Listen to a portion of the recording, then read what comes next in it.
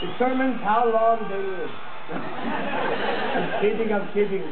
I've never injured anyone in any of my shows, but didn't seriously have it coming.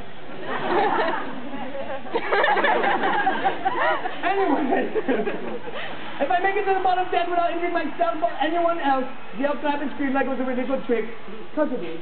Here we go. One, two, three, yeah.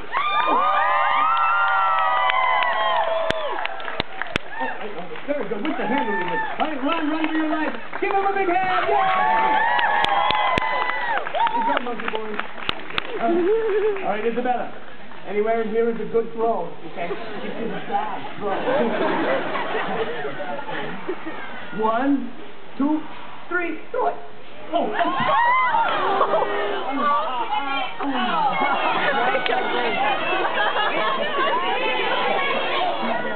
Oh, people don't throw it. Wait, wait, no, no, Isabella. Oh, God. no, it was a beautiful throw. It was just, I was stunned. We'll do it again. This time for real. Because, you know, I don't know if you noticed.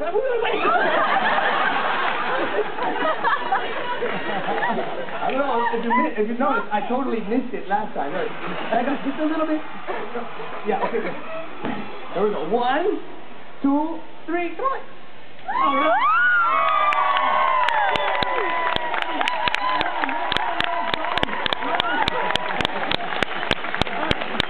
All right, my friends. I want to thank you for coming out here and making this show a lot of fun for me, at least right up to this point. I do hope that you had a good time as well. Have you had a good time?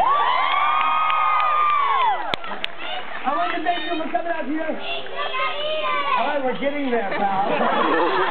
but I also want to let you know that I will be passing the hat at the end of the show. And nobody's laughing about that, are they? but my friends, this is truly how I make my living, traveling around the world, apparently eating onions.